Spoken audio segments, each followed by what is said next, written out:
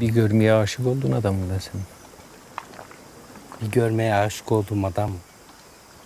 Unuttun mu aşkım kal dersen kalırım dediğin zamanları. Gelecek misin? Bilmiyorum.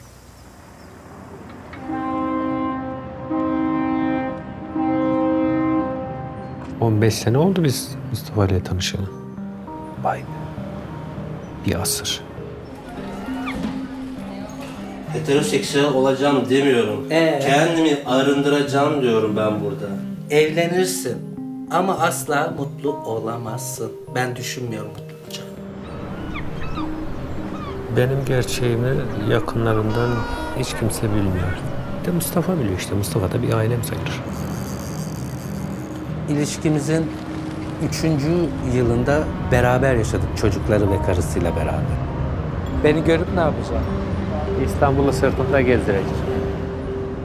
Sen hayatında başka bir kadın var dediler. Benim hayatımda hiçbir kadın yok, bir erkek var de diyemiyorum. Pişmanlık var sadece.